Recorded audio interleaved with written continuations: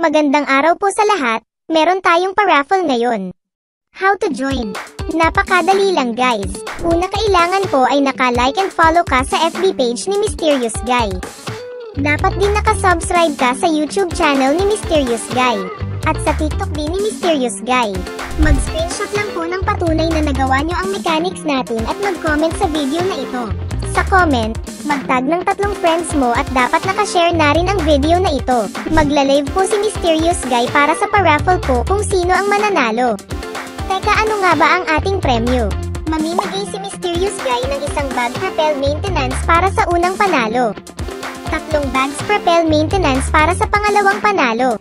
Limang bags propel maintenance para sa pangatlong panalo. Abangan lang po ang live ni Mysterious Guy at doon po natin malalaman kung sino panalo. Maraming salamat po sa nananatiling sumusuporta. Huwag po kalimutan ang mechanics. God bless!